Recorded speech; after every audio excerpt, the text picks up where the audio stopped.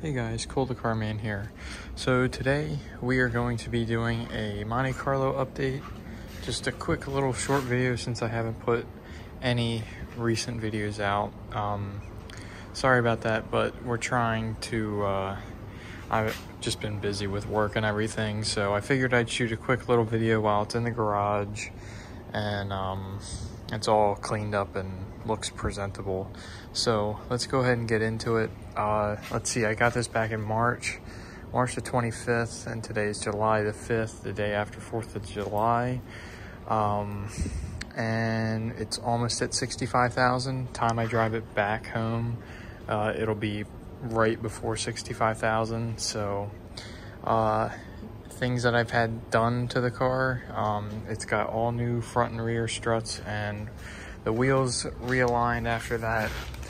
If we come in here, you can see the brand new struts. Um, unfortunately, it does sit a little bit higher, but the car needed the struts. So, I mean, it's not too high, um, but it does ride really good with the new struts compared to the original 20 year old ones. Um, even though the car only had like 63,000 on it when I put them on, or 64, uh, just 20 years of hitting bumps and all that kind of stuff just wore them out. So you could really tell in the rear because, you know, I took this car on a trip and I had a whole bunch of stuff in the back and we had three people in the car and it was like, I mean, the wheel was like up here close to the fender and it's like wow. Really needs new struts um, but i mean overall that's really the only thing. Uh, only other problem i had with it was a code popped up once or twice and it was a p0171 i think for running lean. Checked for vacuum leaks. I cleaned the mass airflow sensor and no couldn't feel or hear any vacuum leaks but i cleared the mass airflow sensor and I cleared the code after, no problems. So as of right now, runs really good. Just keeping up with all the fluids and stuff. It is a 20 year old car. Uh, it's almost about to hit 65,000. Uh, unfortunately, I am putting the miles on a little faster than I would like, but it's a really fun car to drive. And every time I have the opportunity to drive, I drive. So, uh, interior, um, I did detail the whole car since I have the garage. I'm to use that to my advantage. I um, washed the car, dried it, clay barred, and then I waxed it. Uh, it took me two days because I didn't want to just do spend a whole day cleaning it. I was doing it at night when it was cooler out. Um, so I mean, overall, the car really didn't need a clay bar, but it is very smooth and it's protected now. The guy who I bought it from did put like a ceramic coating on it, or you know, he was very religious with the washes and stuff, and uh, it has held up, and I just want to preserve that. So I waxed over top. I clay barred and waxed it. So and uh, cleaned the tires and the barrels of the rims and wheels and stuff. So trying to keep it all nice and clean. Polish the exhaust tips back there, you can see.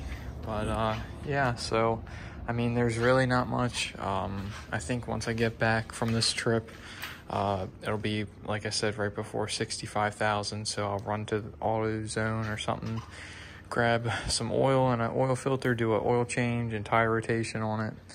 And yeah, I mean, she'll be good to go with all that. Just staying up on the maintenance and everything and uh, trying to do preventative maintenance as well.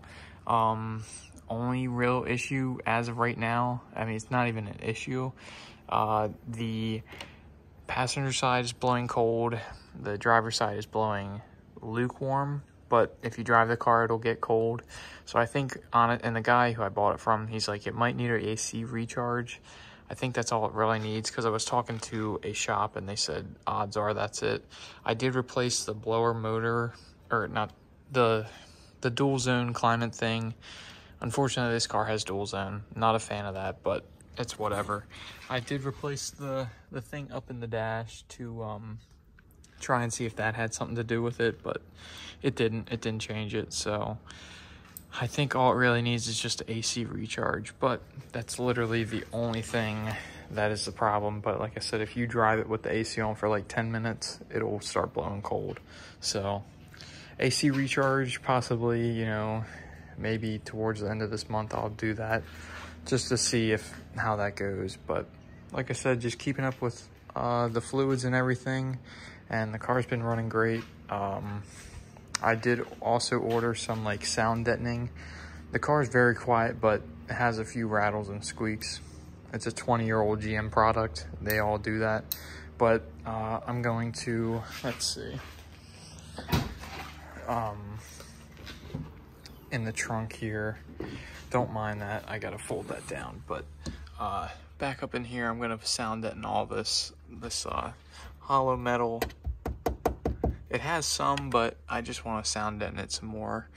Um, but sound deaden in there, sound deaden, you know, where the spare tire is, possibly in the trunk, not to cover up that, but, um, and like on the interior, like underneath the uh, carpet, on the floorboards and stuff, and maybe behind the passenger door or the uh, door panels on the passenger and driver side, maybe.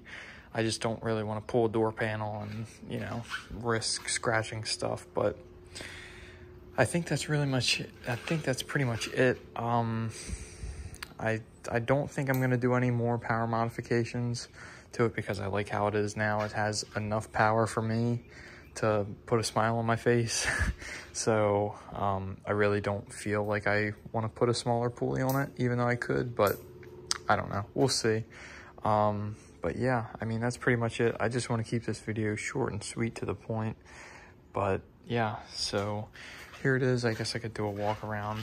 It turned out with the uh, clay bar and everything and the waxing pretty good on the paint. Um, I think I am going to order new headlights. These are OEM headlights, but if you get up close, they're cracking and stuff. Maybe towards, you know, August, maybe I'll do that, order new lights. It really doesn't need it. They are extremely clear. The guy had this garage, and these are the factory lights, but they have like crow's feet and cracking and pitting and stuff, so maybe I will. And some of the orange reflector, you can see it's like flaking off and just in the headlight but it's really not that bad. Um, oh, I did get window tint. uh, window tint, I don't know if I mentioned this, but I have the new um, headrests that have the red bow ties. I'm trying to make everything like, like kind of tie in. Has the red SS on the quarter panel, on the center caps, and then the bow tie on the trunk.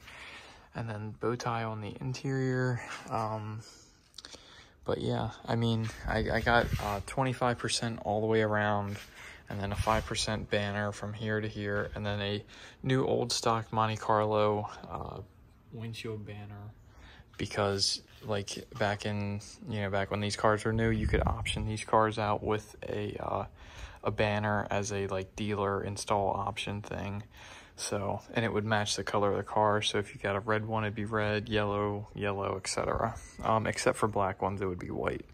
But, um, yeah, so not too much um, mod-wise that I want to do to it. Like I said, the sound deadening and, you know, a couple other little things. I mean, the car, like I said in the first video when I got this, it literally has everything that I would want to do done to the car. So, hence why I wanted this one more than a stock one or, you know, a factory supercharged one from the factory. But literally everything's done to it, and that's the best thing about the car. But anyway, uh, we're getting to nine minutes on the video. I'm going to cut this short.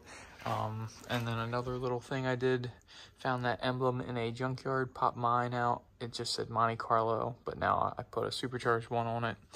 So just just little things here and there. But uh, yeah, so stay tuned for more videos to come. Uh, like I said, I will be uploading more and more. But uh, for right now, here's the Monte Carlo as it sits. And thank you all for watching, and I will see you all in the next video. Peace.